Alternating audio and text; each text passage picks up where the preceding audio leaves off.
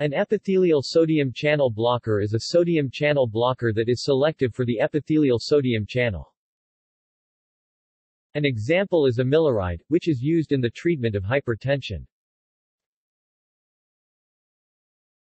References